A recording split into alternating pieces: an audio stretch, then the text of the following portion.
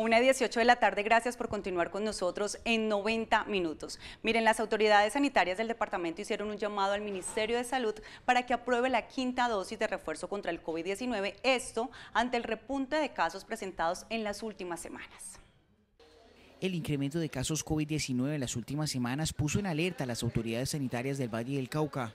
En las últimas 24 horas, cinco personas ingresaron en el mismo periodo a sala UCI por COVID, por lo que hicieron un llamado al Ministerio de Salud.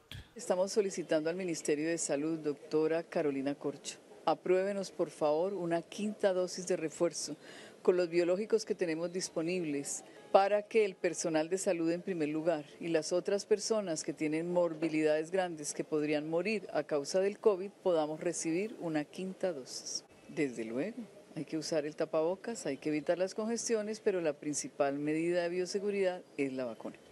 Lesmes detalló que igualmente se han registrado el ingreso de cinco menores a salas UCI por el virus, por lo que invitó a completar los esquemas de vacunación y el uso de tapabocas en espacios cerrados.